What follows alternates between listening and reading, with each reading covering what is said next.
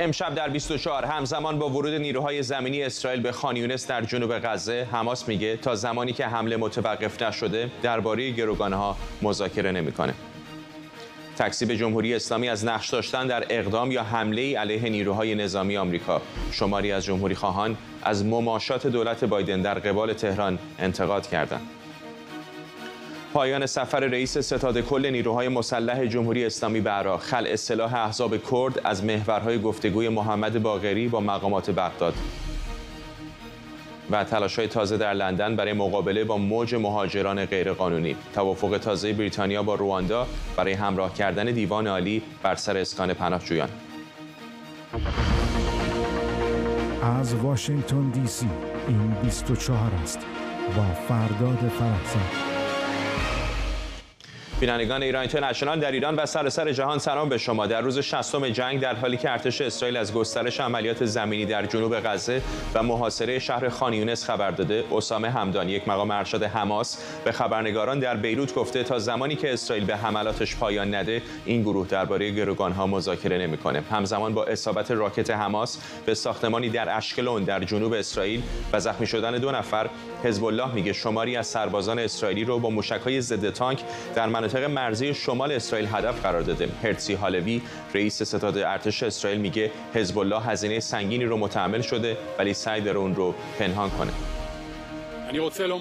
می‌خوام چند کلمه درباره مرز شمالی مرز با لبنان صحبت کنم. در پایان وقفه چند روز پیش حزب الله تصمیم گرفت به سمت ما شلیک کنه. ما این رو پیش بینی کرده و برای اون آماده بودیم. ما با قاطعیت علیه هر کسی که در حال آمادگی یا تلاش برای آسیب زدن به شهروندان اسرائیل و سربازان ارتش اسرائیل هستن اقدام می‌کنیم. ما علیه کسانی که تهدیدی برای قلم روی ما هستن اقدام می‌کنیم. ما داریم هزینه سنگینی رو بر حزب الله تحمیل می‌کنیم. هزینه که اونها سعی در پنهان کردنش دارن.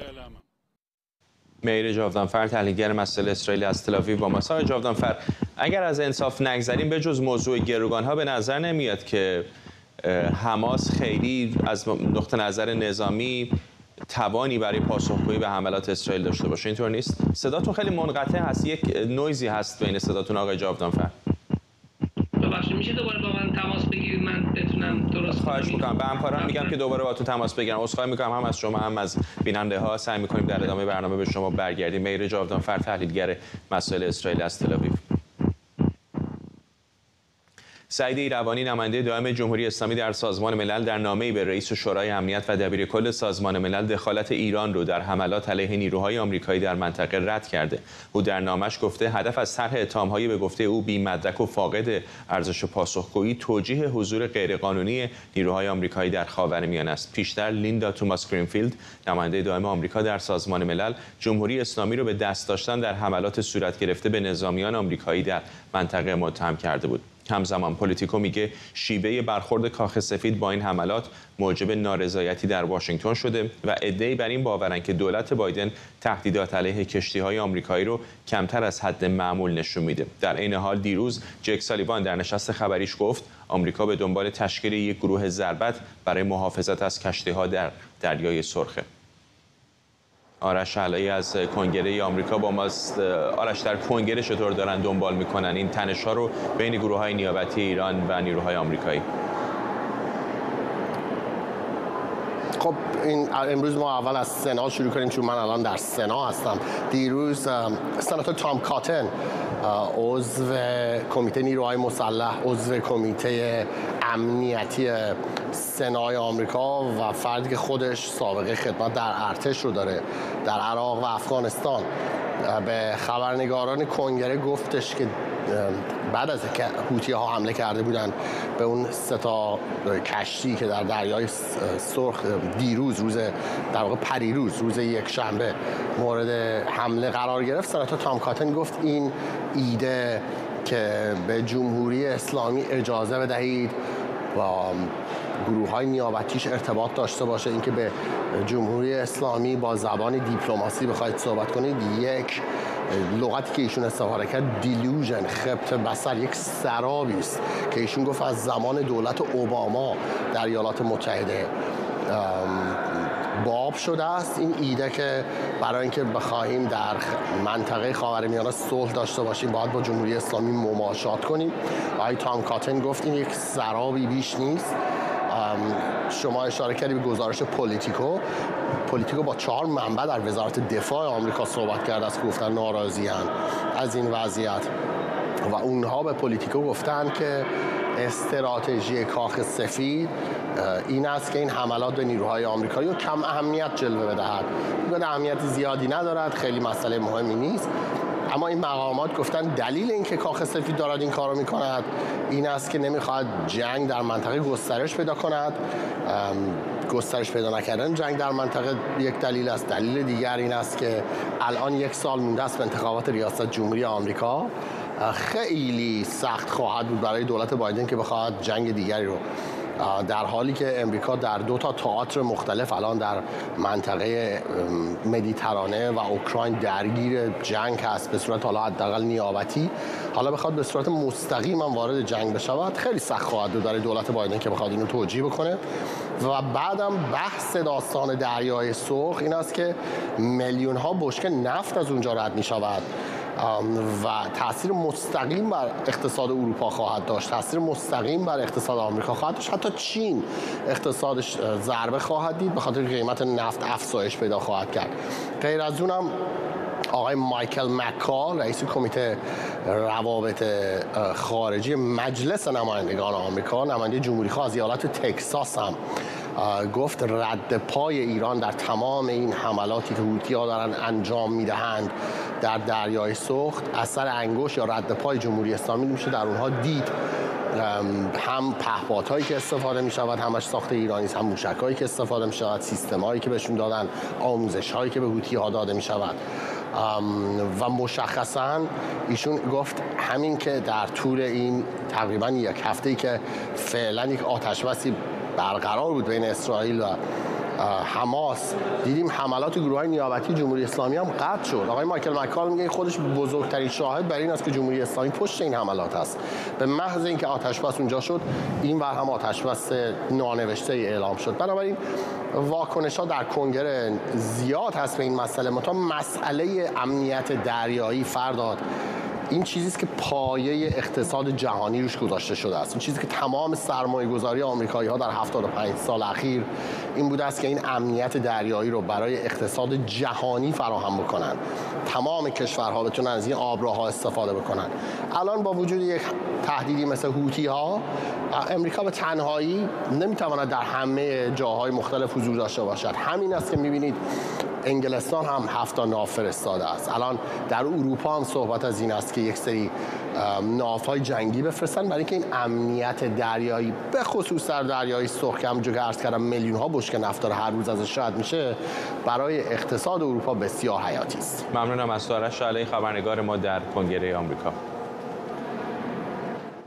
اجازه بدید برگردیم به اسرائیل. در تل نشست خبری بنیامین نتانیاهو نخست وزیر اسرائیل هست همراه با یوآف گالانت وزیر دفاع و همطور بنی گنس عضو کابینه جنگ اسرائیل و رئیس حزب وحدت ملی تقریبا در دو ماه گذشته تعداد زیادی از روزها اگر نگم هر روز این کابینه جنگ کنفرانس مطبوعاتی داشته با خبرنگاران صحبت کرده حالا در شستمین روز جنگ هستیم حملات ارتش اسرائیل به مناطق جنوبی غزه هم گسترش پیدا کرده. و همزمان گروه های نیابتی جمهوری اسلامی از جمله حزب الله هم همچنان به موشک و راکت پرانی به سمت منافع اسرائیل و البته ایالات متحده در منطقه مشغولند. برگردیم به مهیر جاودانفر تحلیلگر مسائل اسرائیل از تلاوی با ما آقای جاودانفر عذرخواهی می‌کنم که پیشتر مجبور شدیم تماسمون رو نیمه کار قطع بکنیم. این رو داشتم عرض می‌کردم که به نظر نمیاد که واکنش هایی که حماس تا اینجا نشون داده به استثنای واکنش های تبلیغاتی و البته خب اون کارت گروگان ها از نقطه نظر نظامی واکنشی باشه که تهدیدی جدی برای ارتش اسرائیل بوده باشه. تا اینجا اینطور نیست؟ کاملا درست میگید ببینید الان واقعا حماس راه دیگه اهرام فشاری دیگری نداره روی اسرائیل. پس من از خودم سوال می‌کنم آقای فرزاد پس چرا حمله کردن؟ آیا واقعا حماس که می‌دونست که این حماس که می‌دونست که این واکنش اسرائیل خواهد شد حماس که می‌دونست که اینقدر ضعیفتر هستش از ارتش اسرائیل. من هنوز نمی‌دونم هنوز نتونستم جواب بدم. واقعا این جواب منطقی پیدا بکنم که چرا حماس این حمله عظیم رو کرد. و الانم ببینید من حقیقت به شما بگم. خیلی ما چشم هستیم که که که گروگان ها برگردن. ولی خود سخنگوی کاخ سفید امروز گفتش. گفتش که یکی از دلایلی که حماس نمی‌خواد زنهای اسرائیلی رو آزاد بکنه این هستش که اونها به احتمال زیاد باز خواهند گشت و تعریف خواهند کرد که حماس چه چه شکنجه هایی به اونها کرده. و این واقعا خدای نکرده ولی باستی بگم ولی خدای نکرده ولی این حقیقت شاید بشه تبدیل بشه. به زودی که شاید حماس شروع بکنه به کشتن بعضی از این گروگان ها من فکر نکنم که من امیدوارم من امیدوارم دعا می‌کنم که تمام گروگان هامون بازگردن. ولی من مطمئن نیستم ولی این, این کارتی هستش که حماس تا آخرین لحظه استفاده خواهد کرد و اینم به واقعا نشون میده که حماس چقدر داره واقعا از جاش داره تنگ میشه گزینه هاش دارن از بین میرن و و خودش می‌دونه که بالا دورتر یا یا دیر زودتر یا دیرتر زودتر یا دیرتر شاید به احتمال زیاد غزه را از دست خواهد داد. آقای فر الان در 60 روز جنگ هستم رو اون اوایل هم دائم ازتون میپرسیدم. طبیعی هستش که در اون اوایل خب تصویر روشنی خیلی وجود نداشت. ولی الان که از نقطه نظر نظامی مشخصه که اسرائیل دست بالا رو داره شمال غزه رو عملا در کنترل داره جنوب غزه رو هم آرام آرام داره اشغال می‌کنه. مرحله بعدی به نظرتون چه خواهد بود برای مدیریت این باریکه؟ اول از همه پیدا کردن رهبران حماس. دوما ببخشید معذرت می‌خوام نه نه نه اشتباه کردم. اول از همه پیدا کردن گروگان های اسرائیلی تا اونجایی که اسرائیل می‌تونه و, و استفاده از گزینه نظامی برای فشار آوردن روی حماس برای آزادی شهروندان اسرائیلی. اول از همه. دوما پیدا کردن رهبران حماس. سوما از بین بردن زیرساخت نظامی حماس در غزه. و این سه تا چهارم هم میشه گفتش که بله واقعا از بین بردن زیربنای سیاسی غزه. ولی بحثی اگه اجازه بدید برگردم به از بین بردن زیر زیربنای نظامی در غزه. ببینید در لندن آندرگراند لندن 400 کیلومتره. در غزم 400 کیلومتر تونل حفر کردن. اول ولی البته لندن خیلی تونل هاش میشه گفت چیزتر هستن بزرگتر هستن ولی در هر حال شما بخواید 400 کیلومتر رو بخواید طی بکنید یا جستجو بکنید بسیار سخت هستش. الان دولت اسرائیل داره دنبال راههایی میگرده که چجوری این تونل ها رو از بین ببره. بعضی الان دارن صحبت می‌کنن که شاید اسرائیل از آب دریا استفاده بکنه. فراموش نکنیم که حدود 4 5 سال پیش حماس تونل هایی رو ساخته بود بین مصر و غزه که مصری ها اونها فاضلاب ریختن توی این تونل ها تا حماس نتونه از این تونل ها استفاده بکنه. من مطمئن نیستم که اسرائیل بتونه از این از این شیوه استفاده بکنه. ولی در حال حاضر ببینید فشارهای دیگه محور مقاومت باعث نشده که اسرائیل شدت و آهنگ این کمپین نظامیش در غزه کم پایین بیاد. کاهش پیدا بکنه. حوسی حمله کردن از یمن. حزب الله از شمال حمله کرده. ما می‌بینیم. ولی هنوز با, با, با وجود تمام این تهدیدها که برای اسرائیل بسیار مهم هستش اسرائیل هنوز با, با عملیات زیرزمینیش با عملیات زمینیش استفاده ادامه میده و ادامه خواهد داد. و اینکه تا الان فشار جدی روی اسرائیل نمده تا جلوی این عملیات رو بگیره نشون واقعا نشون دهنده یک دستاورد بزرگی هستش و واقعا نشون دهنده این هستش که اسرائیل داره سعی می‌کنه با وجود تمام میشه گفت چالش ها هنوز بر اساس قوانین جنگ در در غزه به جنگ با وجود اینکه بعضی در آمریکا انتقاد کردن از شیوه گزینه نظامی اسرائیل در غزه. ممنونم از شما. میر جاودانفر تحلیلگر مسائل اسرائیل از تل وال ژورنال میگه ارتش اسرائیل در حال برنامه‌ریزی برای پمپاژ آب دریای مدیترانه به داخل شبکه تونل‌های حماس در نوار غزه است. موضوعی که مهمانمون هم بهش اشاره کرد. اقدامی که ممکنه تامین آب شیرین غزه رو مختل کنه و به زیر ساخت آسیب بزنه. در این گزارش آمده که ارتش اسرائیل در ماه گذشته حداقل پنج پمپ در فواصل کمتر از دو کیلومتر در شمال اردوگاه پناهجویان در غزه نصب کرده. این پمپ ها می‌تونن هزاران متر مکعب آب رو در ساعت منتقل و ظرف چند هفته تونل های غزه رو غرق کنند. مقامات آمریکایی گفتن از این طرح مطلع شدن اما نمی‌دونن اسرائیل چقدر به اجراش نزدیکه. اسرائیل حدود 800 تونل حماس رو شناسایی کرده.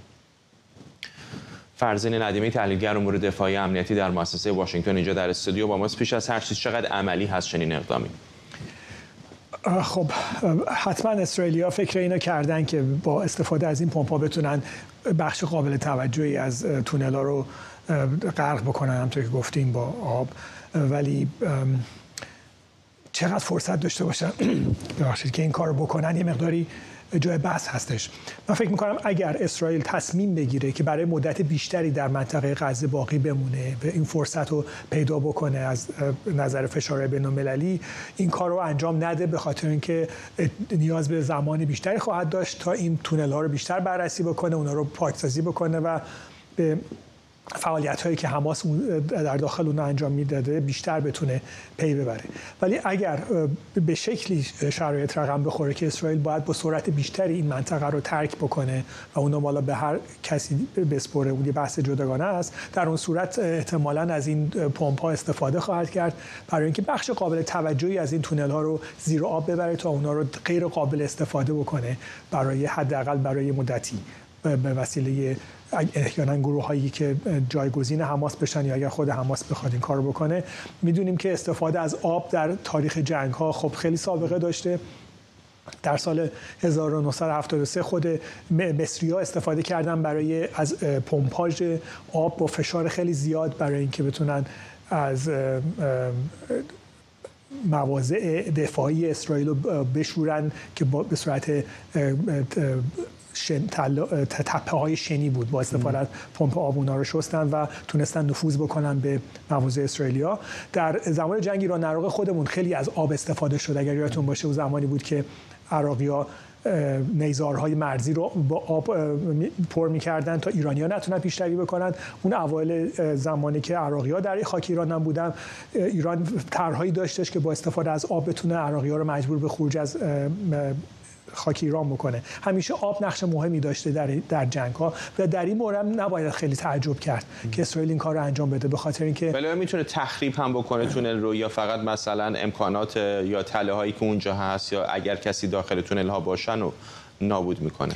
ببینید اسرائیل نمی‌خواد که تک تک این تونل ها رو افراد رو بفرسته چون در نهایت باید انسان ها برن و داخل این تونل ها رو بگردن جستجو بکنن و, و اگر تله انفجاری از خونسا بکنن یا هنوز از اعضای حماس اونجا هستن اونا رو واقعا انسان بعد داره. چون من دیدم مواردی بوده که ربات ها یا پهپاد رو فرستادن به داخل این تونل ها به صورت محدود میشه این کار کرد. یعنی باید با سیم این ارتباط سیمی وجود داشته باشه. در تونل های خیلی طولانی این کار غیر ممکن است. ارتباط رادیویی غیر ممکنه. در زمان جنگ ویتنام سربازای آمریکایی می‌رفتن معروف بودن به موشهای تونل. اینا می‌رفتن و شاید تا روزها داخل این تونل ها میگشتن. الان مقدار غیر ممکن هست از دید اسرائیلیا بخاطر که نمی‌خوان تلفات انسانی ببینن. از طرف ناشناخته هست بخش قابل توجهی از این تونل ها براشون. شاید بگی براشون مهم نباشه. که تا چه حد این تونل ها مورد استفاده حماسی ها قرار می گرفته حالا با استفاده از آب می‌خوان اونا رو غیر قابل استفاده بکنن برای خود حماسی ها و احیانا هر کسی اونجا هست از بین بره. ولی خب یه ریسک هم وجود داره و شاید مقداری از احتراز روسا اسرائیلیا به خاطر این باشه و اونم اینه که ممکنه تعدادی از گروگان ها همچنان در این تونل ها وجود داشته باشه. ممنونم از شما. فرزین ندیمی تحلیلگر امور دفاعی و امنیتی در مؤسسه واشنگتن. تا حرف از اسرائیل و غزه است اجازه بدید دوباره بریم به غزه در جنوب این باریکه در منطقه خانیونس تصاویر زنده رو می‌بینید از بیمارستان یا کلینیک ناصر که در روزهای گذشته محل ورود تعداد زیادی از فلسطینیان مجروح در جریان جنگ اسرائیل و حماس بوده. در شمال اسرائیل هم می‌دونید که بیمارستان شفا نقش مشابهی داشته هرچند که مقامات اسرائیلی مدعی هستند که حماس از بیمارستان شفا برای اهداف نظامی استفاده کرده. تصاویر زنده رو می‌بینید از خان بیمارستان ناصر. رئیس ستاد کل نیروهای مسلح جمهوری اسلامی در سفر به عراق با رئیس جمهور و نخست وزیر کشور دیدار کرده. محمد باغری همینطور با فالح الفیاض رئیس شبه نظامیان هشت شبی هم گفتگو کرده. باغری درباره امور دفاعی و امنیتی اجرای های مشترک و ادامه خلع سلاح احزاب کرد در شمال عراق هم با مقاماتی از جمله مشاور امنیت ملی و وزیران دفاع و کشور عراق صحبت کرده. باقری گفته روابط امنیتی دو کشور در حال توسعه است. موضوعات امنیتی فیما بین که موجبات توسعه امنیت در مرزهای دو کشور در سطح هر دو کشور فراهم بشه رو بحث های موفقی داشتیم و امیدوار هستم و کاملا روشن هست آینده که آینده ارتباطات دو کشور آینده روشنتر و امتری خواهد بود و موجبات توسعه روابط اقتصادی انسانی اجتماعی فرهنگی بین دو کشور فراهم خواهد شد و ما از جانب جمهوری اسلامی ایران حد اکثر تلاش رو برای ارتقاء امنیت خواهیم داشت. عزیزانمون در عراق هم همین مسیر رو دارن طی می‌کنن و روز به روز در حال توسعه هستیم و این پیشرفت رو احساس خالد عزیز سخنگوی حزب دموکرات کردستان ایران اینجا در استودیو با مساق عزیزی به نظر میاد که حلقه به دور گروه های مختلف مخالف جمهوری اسلامی در عراق همینطور داره تنگتر میشه. از خروج نیروهای آمریکایی از عراق بگیرید. همینطور به نظر میاد که نفوذ جمهوری اسلامی اونجا داره گسترش بیشتری پیدا می‌کنه. همین الان می‌بینیم حتی در جنگ اسرائیل و حماس هم از اونجا استفاده می‌کنن برای حمله به منافع آمریکایی ها چقدر احساس می‌کنید که فضای تنفس عملا داره به پایان می‌رسه در عراق؟ من فکر می کنم فضای تنفس به این آسانی به پایان نمی‌رسه. علتش این این منطقه آیندهش کاملا نامعلوم هست و در خود عراق هم ما می‌بینیم که مردم با سیاست های جمهوری اسلامی در داخل عراق مخالفت می‌کنن و دولت عراق هیچ وقت ثبات سیاسی به اون صورت نداشته. این تبدیل به یه مسئله شده در داخل عراق. اصولا خروج نیروهای آمریکایی را هم به این آسونی من پیش بینی نمی کنم علتش این آمریکا در موقعیت قرار نداره که اونجا را ترک بکنه. تا اونجایی که به مبارزه علیه داعش و جریان های تروریستی منحصر به داعش مربوط هست. من فکر نمی کنم دولت عراق بتونه از عهده این مسئولیت بر بیاد. بنابراین آمریکایی ها فکر کنم در آینده در عراق باقی میمونند ولی تصور نمی‌کنید که نقشی که آمریکایی ها برای خودشون متصور هستن الان خیلی محدودتر هست. مثلا همین موضوع داعش که اشاره کردید متوجهم که اونو یک تهدید ژئوپلیتیک می‌بینن. اون رو هدف ممکنه بخوان قرار بدن. ولی بسیاری از این گروه های نیابتی جمهوری اسلامی حتی مثلا هشت شب اینا رو به صورت روزانه که باشون درگیر نمیشن. مگر اینکه اونها یک حمله بکنن این بر واکنش نشون بده. من فکر می کنم بخشم برمیگرده به سیاست جمهوری اسلامی در منطقه. جمهوری اسلامی با وجود اینکه حداقل تا اونجایی که به مبارزات مردم ایران در داخل ایران و بالاخص کردستان ایران مربوط هست در این اواخر سعی کرده که منطقه رو کنترل بکنه. مطمئن مطمئن هستم که جمهوری اسلامی به این آسونی نمی‌تونه در این منطقه هر برنامه‌ای که داشته باشه به مرحله عمل بگذاره. و اصولا آینده عراق همونطور که اشاره کردم کاملا نامعلوم هست و جریان های نیابتی در داخل عراق به عنوان جریان های وابسته به ایران محسوب میشن و تبدیل به بحث سیاسی در آینده فکر کنم در خود دولت عراق و در بغداد بشه و جمهوری اسلامی اونجا تبدیل به در مقابل مردم قرار بگیره. حقیقتش اینه. همین نامشخص بودن سرنوشت طبیعتا برای احزاب کرد هم هست دیگه. چقدر باعث نگرانی برای شما.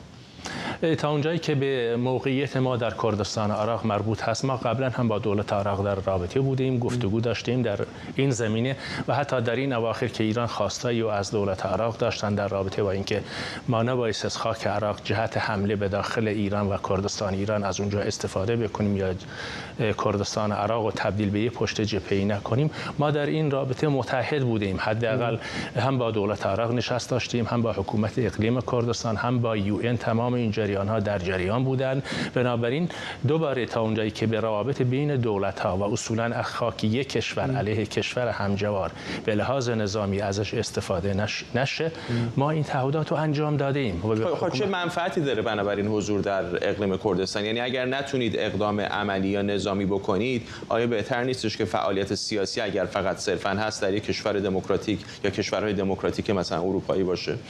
ما قبلا در کردستان عراق بودیم و حزب دموکرات کردستان ایران اصولا فلسفه درست شدنش سیاسی بوده مدنی بوده و ما معتقد هستیم این مبارزه در داخل کردستان ایران باید ادامه پیدا بکنه. و ما قبل از اینکه حکومت صدام حسین ساقط بشه قبلا هم اونجا بودیم و اصولا هیچ وقت هم در امور داخلی عراق دخالت نکردیم و سعی کردیم به سروری خاک عراق احترام داشته باشیم به همین مناسبت به سروری خاک کردستان عراق هم. ما اونجا کمپ های زیادی داریم. پناهندگان کرد ایرانی در اونجا زندگی می‌کنن و از دیر زمان اونجا بودیم و اینکه جمهوری اسلامی همیشه به مناسبت های مختلف حضور را در اونجا بهانه قرار میده. دلیلش اینه که در داخل کردستان ایران خوشبختانه مبارزات مدنی کم و بیش ادامه داره و حزب دموکرات در این رابطه نقش به سزایی داشته و لذا این موقعیت و این مناسبات رو در اینجا تحمل نمی‌کنه. شاید مثلا 15 سال پیش 20 سال پیش چه در اقلیم کردستان چه در سراسر عراق و همینطور در ترکیه میزان نفوذ جمهوری اسلامی به این اندازه نبود. به یاد دارید بسیاری از اپوزیسیون ایران مثلا می‌رفتن در ترکیه احساس امنیت نسبی می‌کردن. حالا معمولا یک راه گریزی بود برای به کشورهای اروپایی یا آمریکای شمالی امروز به نظر نمیاد که این امنیت مثلا در جای مثل ترکیه احساس بشه. در عراق هم همینطور هست. چقدر فکر می‌کنید که این نگران کننده است؟ نقش فزاینده که جمهوری اسلامی داره در منطقه بازی می‌کنه. من فکر می‌کنم بسیار نگران کننده است. علتش هم اینه که جمهوری اسلامی یه برایندی از انقلاب اسلامی هست. برایند از این انقلاب بدین معنی است که ادامه وجود حیات خودش رو در درست کردن بحران و تشنج در منطقه می‌بینه. جمهوری اسلامی به دنبال درست کردن سناریوهای است. با هر حزبی با هر جریان سیاسی با هر مذهبی که مخالفش باشه در منطقه مثل جمهوری اسلامی فکر نکنه. ولی من مطمئن هستم فکر می‌کنم که به این آسانی جمهوری اسلامی نمی‌تونه در منطقه به میل خودش بتونه برنامه های نظامی و برنامه های امنیتی خودش رو عمل بکنه. علتش اینه من دوباره امیدوارم که در داخل ایرانی مبارزات مدنی علیه جمهوری اسلامی شکل بگیره و اصولا در آینده یا در دوران بسیار کوتاهی شاید دوباره ما منتظر همچون جنبش‌هایی در داخل ایران و مخصوصا در کردستان علیه نظام جمهوری اسلامی باشیم. ممنونم از شما خالد عزیزی سخنگوی حزب دموکرات کردستان ایران اینجا در استودیو ما در واشنگتن. تشکر می‌کنم. تشکر از شما. رویترز میگه تولید نفت خام در آمریکا در ماه سپتامبر با افزایش 224 هزار بشکه در روز نسبت به ماه قبل به 13 و 24 میلیون بشکه در روز رسیده و برای دومین ماه پیاپی رکورد جدیدی ثبت کرده. بر اساس ارزیابی رویترز رکورد تولید نفت در آمریکا برای عربستان سعودی و اعضای اوپک پلاس که با کاهش تولید نفت در پی تقویت قیمت‌ها در بازار جهانی یک چالش جدیه. سازمان کشورهای صادرکننده نفت اوپک و متحدان این سازمان که به عنوان اوپک پلاس شناخته میشن هفته پیش از تصمیمشون برای کاهش تولید نفت به دو میلیون و دویست هزار بشکه در روز خبر دادن. بر اساس این تصمیم تا پایان سه ماهه اول سال 2024 عربستان سعودی تولیدش رو در محدوده یک میلیون بشکه در روز نگه میداره و روسیه صادرات نفتش رو تا ماه مارس آینده به 500 هزار بشکه در روز کاهش میده. مهدی مسته کارشناس بازار نفت از لندن با ماست. چقدر فکر می‌کنید این تولید پایین آمدن تولید نفت روی مقاصد سیاسی تاثیر می‌ذاره. با درود به شما و بینندگان برنامه. واقعیتش اینه که مدت های طولانی هستش که عربستان سعودی سعی داره که به نحوی بازار رو گرم نگه داره داغ نگه داره و قیمت رو برای بالای 80 دلار مرتبا در هر فرصتی هستش که قیمت پایین تر از 80 دلار میاد. و اون چیزی از عربستان سعودی به دنبال فروش نفت نیست بس که به قیمت به دنبال این هستش که قیمت نفت بالا نگه داره که قیمت سهام آرامکو بالا نگه داشته باشه. کل مقاصد عربستان سعودی هلوش قیمت سهام آرامکو هستش. ولی این مکانیزمی رو که داره دنبال می‌کنه چاره یا موزل ما بقیه تولید کنندگان رو حل نمی‌کنه. چون اونها به حال اولین فرصتی که پیدا بکنن مشتری داشته باشن حتما میفروشن. برای همین هستش که واقعیتش مدت ها وزیر نفت عربستان سعودی داشت در این تاکید می‌کرد و یا مطرح می‌کرد ما میزان تولید رو پایین میاریم و هفته گذشته و یا دو روز گذشته اعلام کرد که ما یک ورق جدیدی می‌خوایم بکنیم. این ورق جدید منظورش همین بود که یه دفعه پوتین تصمیم گرفت که به عربستان سعودی و امارات متحده عربی بره که به این ترتیب روی اوپک پلاس بیاد تاکید ولی همه ناظران نفتی برای این عقیده هستن که دوران اوپک و اوپک پلاس تقریبا خاتمه پیدا کرده و اینها تاثیر آنچنانی در قیمت نفت و بازار نفت ندارن کنه. و اینها کاری به حال داره عربستان سعودی پیش می‌بره که قراره که فردا پوتین به امارات متحده عربی و بعد هم به عربستان سعودی بره که در این مورد هم باز هم گمان زنی بر این هستش که احتمالا امارات متحده رو حذف بکنه و مستقیم به عربستان سعودی بره چون که یه مقدار ریسکی هست که در امارات متحده به حال چون که قرار بازداشت پوتین رو صادر شده احتمال این هستش که تو امارات میشه جلوش رو گرفت. ولی تو عربستان سعودی چون این قطنامه رو امضا نکرده هیچ کسی جلوش رو نمی‌گیره. به این حال بازی های هستش که عربستان سعودی در انجام میده برای اینکه بازار نفت رو مقداری گرم بکنه. متاسفانه به میزانی که تولید در بازار زیاد هستش متاسفانه هیچ کنشون موفق نبود. چون به پوتین اشاره کردید من می‌خوام بپرسم که خود روسیه به نظرتون چقدر درباره تصمیم گیری درباره قیمت نفت نقش کلیدی داره بازی می‌کنه؟ مطمئن هستن همگی مطمئن هستن که پوتین و یا روسیه هر میزانی که هر مشتری که پیدا بشه به هیچ عنوان از تحویل نفت بیشتر به اون مشتری دریغ نمی‌کنه. اینو همه مطلع هستن. برای همین هم هست در حال حاضر نفت روسیه در مرحله اول به چین میره از طریق لوله هایی که هستش و بعدا به هند میره و میزان کمی هستش که وارد اروپا میشه که بلغارستان و مجارستان می‌خرن و مقدار کمی هم هستش که به ترکیه فروش میره. برای همین هیچ کاری دیگه یعنی مشتری جدیدی برای نفت روسیه نیست. برای همین اگر پیدا بکنه اگر یکی دیگه بگه که این مشتری هست ولی روسیه به دلیل تعهدش به اوپک پلاس حاضر نیست بفروشه این واقعا بیشتر یک جوک هستش به واقعیت بازار. ممنونم از شما. مهدی مستعی کارشناس بازار نفت از لندن با ما.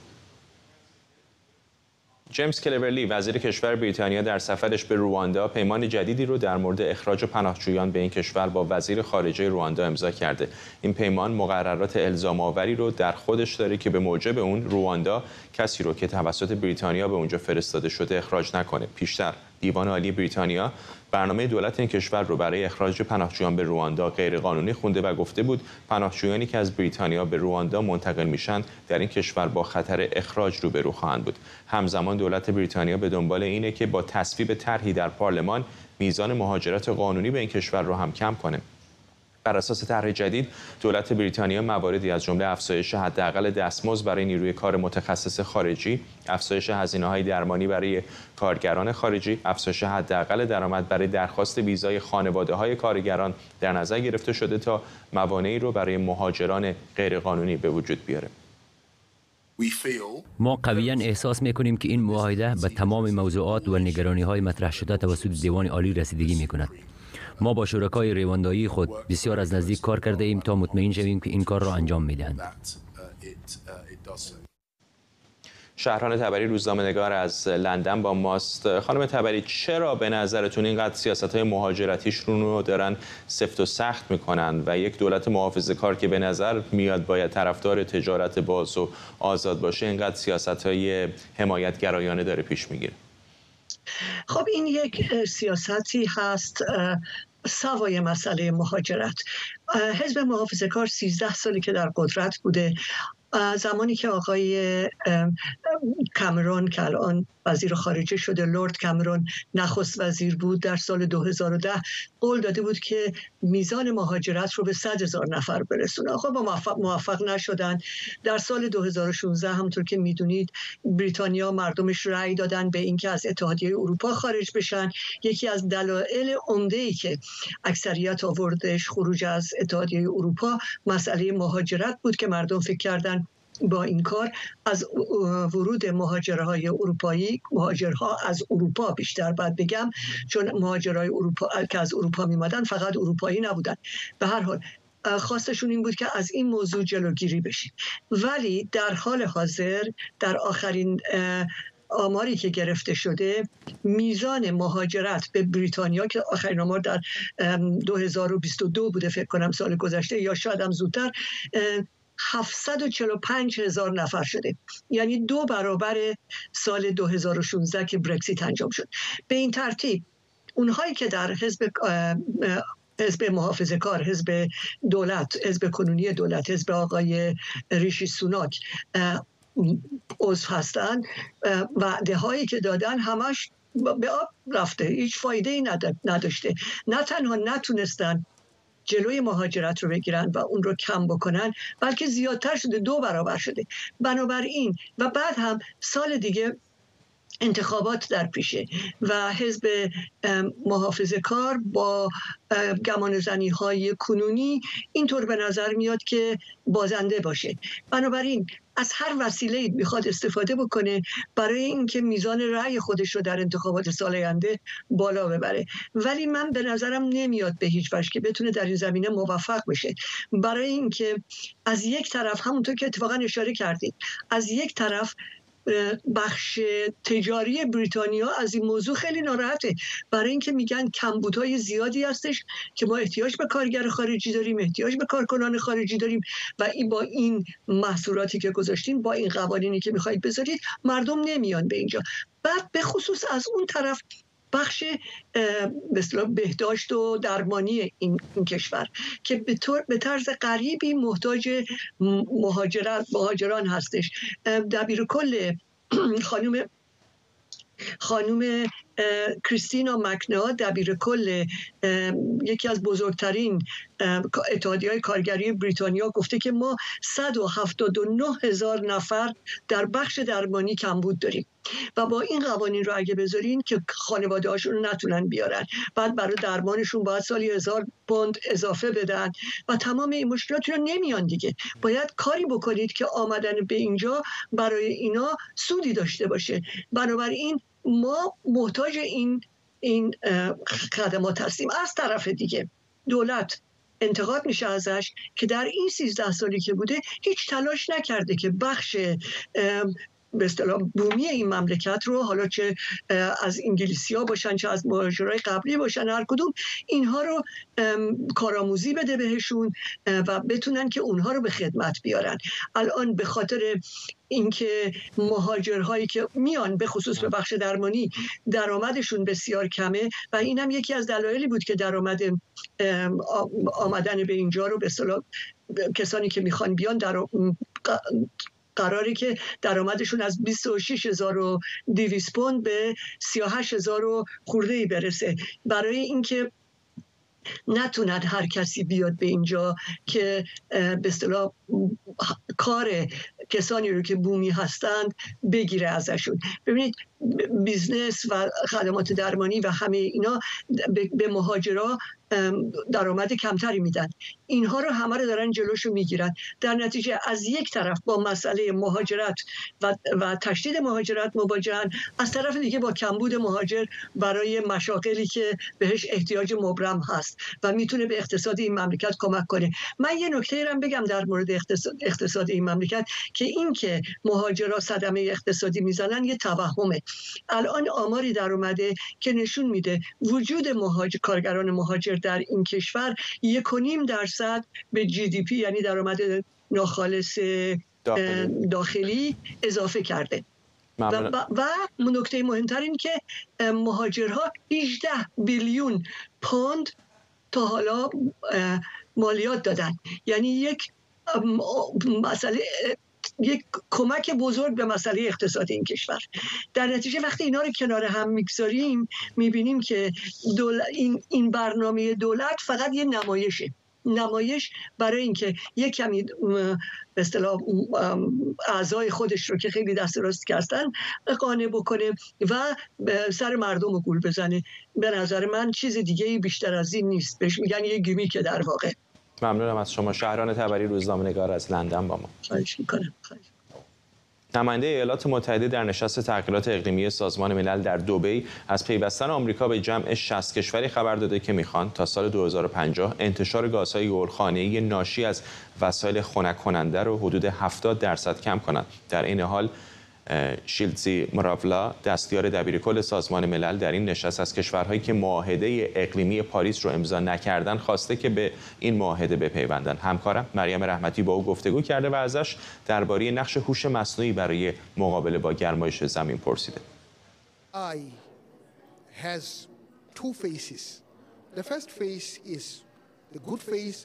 البته هوش مصنوعی دو چهره خوب و بد دارد. چهره خوب آن همه مواردی هستند که می توانیم آنها را برای مدل و نمودارسازی تغییرات آب و هوا طراحی سیستم های کارآمدتر از جمله سیستم های انرژی و استفاده از آن در سلامت انسان ها به کار بگیریم. بنابراین در واقع یک فناوری خوب و عالی است که می‌تواند چیزهای بسیار بسیار خوبی را به ارمغان بیاورد. اما در این حال هوش مصنوعی را می‌توان مسلح هم کرد. در این حال عواقب کربانزایی هوش مصنوعی هم وجود دارد. وقتی صحبت از کارایی کربن به میان میآید محاسبه کامپیوتری آن بسیار گران است و این همان چیزی است که هیئت مشاور عالی دبیر کل سازمان ملل در تلاش است انجام دهد. این هیئت قرار است که یک مدل مدیریتی و اجرایی را برای آن شناسایی کند که قرار است چیزهای خوبی را که قرار است از این فناوری حاصل می شود به حد اکثر برساند. در این حال چیزهای بدی را که قرار است از این فناوری بیرون بیاید به حداقل برسانیم و این نیاز به مکانیزم جدیدی دارد. می توانیم بازده آن مدل را ردیابی و ارزش گذاری کنیم و همزمان موارد بد آن را از بین ببریم.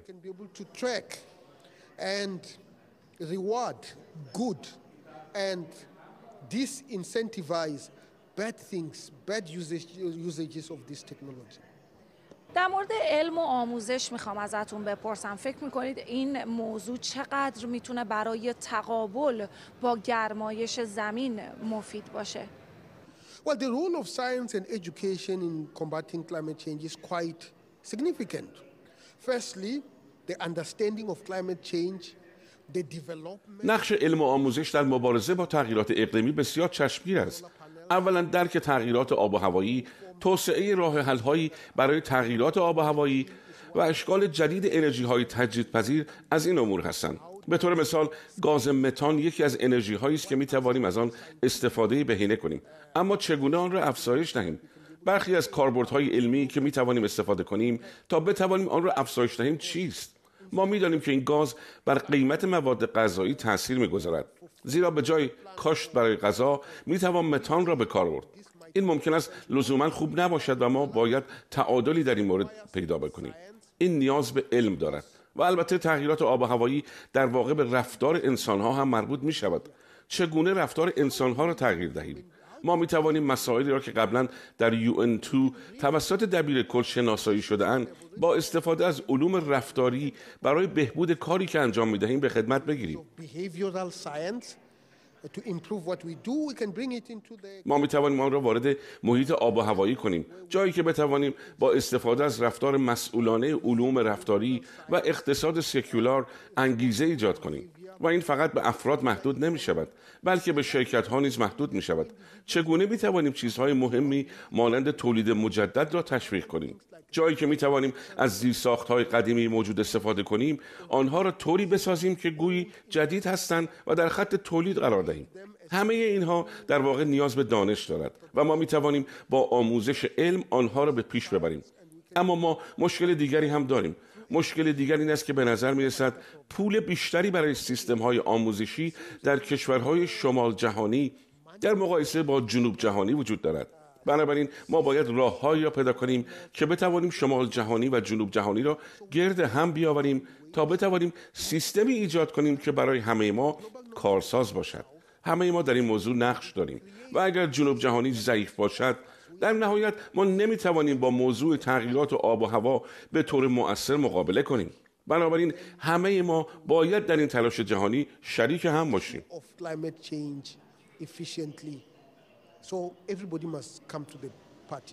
مرکز بین‌المللی حقوق بشر مراسمی رو به مناسبت روز جهانی حقوق بشر در پارلمان کانادا برگزار می‌کنه. در این مراسم با اهدای جایزه به فعالان حقوق بشر نشستی هم با نمایندگان مجلس کانادا با محوریت وضعیت حقوق بشر در ایران برگزار میشه. محسا مرتضوی از تورنتو با ماست با جزئیات بیشتر در مورد این نشست. محسا سلام به تو از اتاوا. با شما همراه هستم کنار ساختمان پارلمان کشور کانادا و اینجا جایی هستش که قرار هست تا حدود یک ساعت و نیم دیگه میزبان نشستی باشه که به همت مرکز بین المللی حقوق بشر برگزار شده. مرکزی که در ده سال گذشته به صورت سالانه با اهدای جوایز به فعالان حقوق بشر و کسانی که قربانی نقض حقوق بشر در ایران بودن تونسته اطلاع رسانی بکنه به جامعه غیر ایرانی ایرانی و همچنین فعالان جامعه ایرانی کانادا در این نشست که امروز در پارلمان برگزار میشه علت اصلی انتقالش به پارلمان چون در سالهای قبل در مکانهای متفاوتی برگزار شده. این مراسم ولی امسال در پارلمان کانادا برگزار میشه به دلیل اینکه خیلی مهم هست که در این روزها اطلاع رسانی هرچه بیشتر انجام بشه در مورد اهمیت قرار دادن سپاه پاسداران در لیست گروه های تروریستی بر اساس اطلاعاتی که دارم. هنوز قبل از اینکه البته این جایزه اهدا بشه امسال می‌دونم کسی که قرار هست این جایزه رو دریافت بکنه.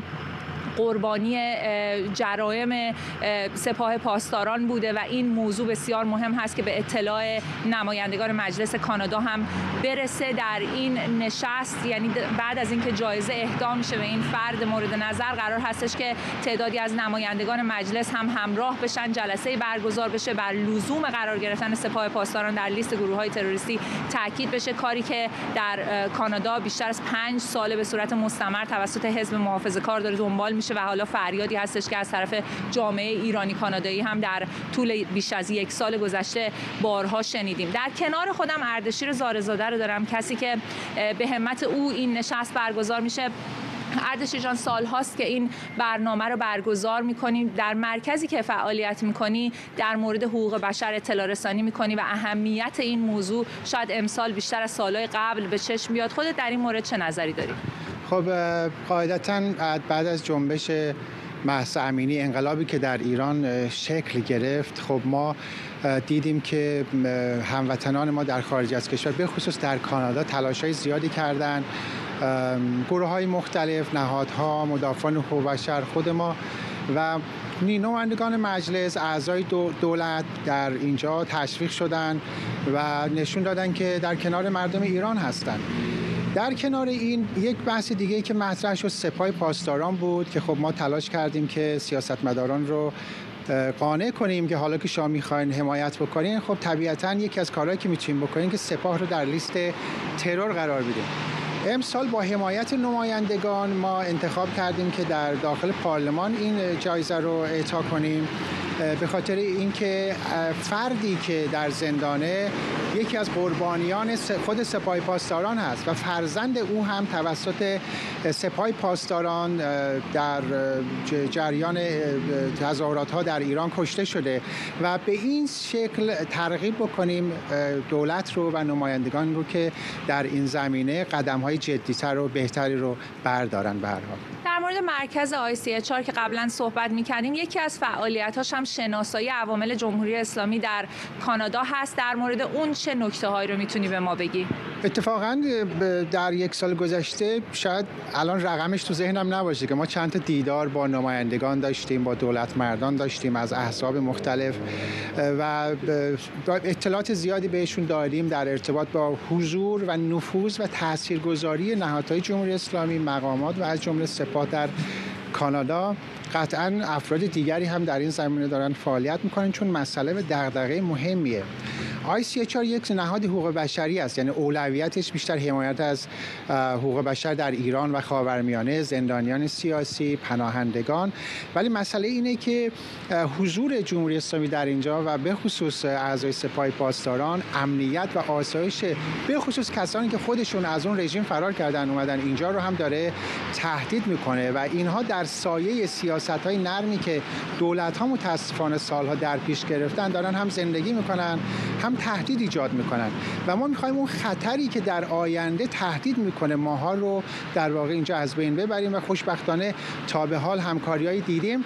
ولی منتظر قدم های جدیتر هستیم که با سپاه و اعضا و نمایندگان جمهوری اسلامی در اینجا در واقع برخورد جدیتر شکل بگیره که اتفاقا یکی از اجلاس ما در پارلمان کانادا امروز هم اختصاص داره به این موضوع. ممنونم از تو اردشیر زارزاده بود مدیر مرکز بین المللی حقوق بشر. همونطور که اردشیر هم اشاره کرد تعداد زیادی از افراد و عوامل جمهوری اسلامی در کانادا شناسایی شدن. بر اساس یک گزارشی که در گلوبال نیوز هم منتشر شد بیشتر از 700 نفر از عوامل جمهوری اسلامی در این کشور شناسایی شدن. روزهای پیش اخبار بررسی پرونده 141 نفر از این افراد رو به دفعات در ایران اینترنشنال هم پیگیری کردیم و امیدوار هست هستند نهادهایی که این کارها رو پیگیری می‌کنن تا با اطلاع رسانی بتونن دولت لیبرال کانادا رو بیشتر به سمت برداشتن گام های معنادار سوق بدن. ممنونم از تو. محسا مرتضوی از اتاوا با ما اصلاح بکنم که پیشتر گفتم از تورنتو از اتاوا پایتخت کانادا بود در سومین روز نشست مخالفان طالبان در شهر وین اتریش موسوم به روند وینا برای افغانستان افغانستان مردم سالار اشاره بکنم. وینا همون وین هست به تلفظ افغانستانی. توافقی بر سر یک نقشه راه به منظور عبور از بحران افغانستان توسط ائتلاف اپوزیسیون به دست اومده. بیش از 50 فعال سیاسی و مدنی از دست کم 25 گروه در مورد ضرورت حمایت از مقاومت مسلحانه مبارزه با تروریسم ثبت رویدادهای نقض حقوق بشر جلب حمایت سازمان ملل و کشورهای اسلامی و یک نقشه راه برای عبور افغانستان به یک نظم دموکراتیک مبتنی بر رأی مردم به توافق رسیدند یک اقدام و یک شروع خوب به رسیدن به یک نقطه مشترک بین تمام گروه ها و جریان ها بود. دستاورد خوبی که در این دفعه در غیر پروسه اتفاق افتید هماهنگی و توافق تقریبا نزدیک به 50 گروه و افرادی بود که در اینجا اشتراک کردن روی این نقشه. پس یک قدم مثبت گذاشته شد. بخش از صحبت احمد مسعود بود. همکارم خادم کریم اینجا در استودیو به ما پیوسته. قبل از برنامه با هم داشتیم تو اتاق خبر صحبت می‌کردیم. می‌گفتی که به نظر میاد این یکی از جدی ترین نشستایی هست که از زمان سقوط تا... تا... افغانستان به دست طالبان شکل گرفته همینطوره به دو دلیل. دلیل اول ای که یک پیگیری داره این نشست سومین نشسته که در وین برگزار میشه. نکته دوم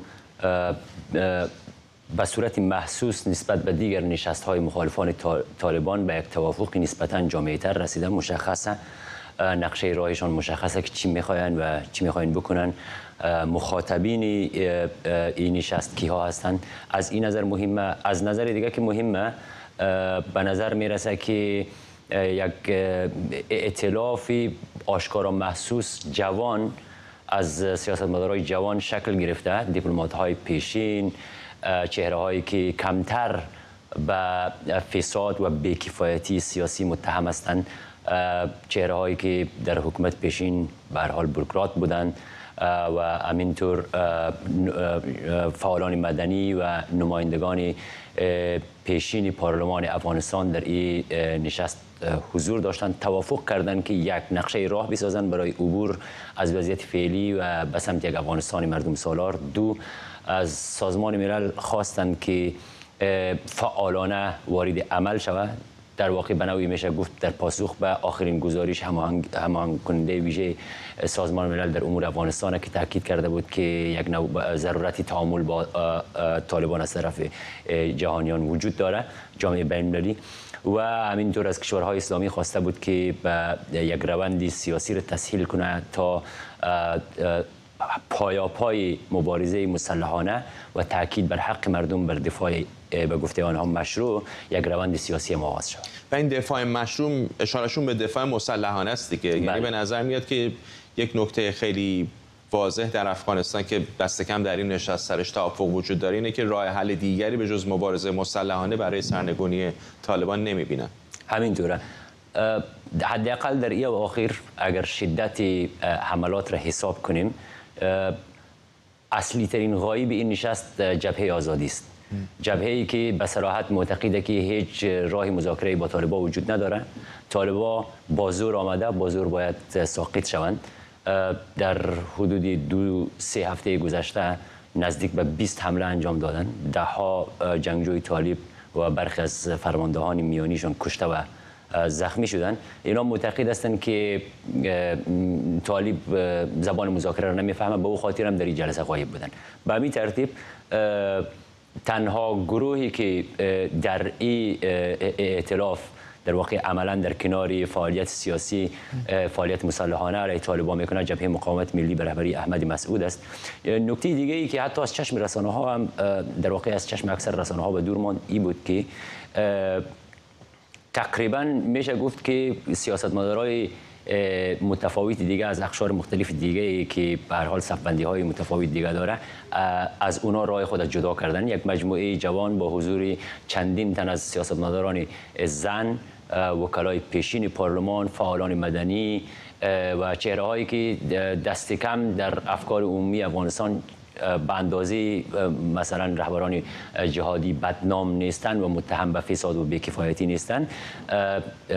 میشه گفت یک ائتلاف تشکیل دادن و از این منظر به نظر ما در سپهر سیاسی افغانستان میان اپوزیسیون مخالفان طالبان یک رویداد متفاوت و بیپیشین است. سوال بزرگ اگه کوتاه پاسخ بدین که حالا چطوری می‌تونن یک حمایت قابل توجه بین‌المللی بگیرن؟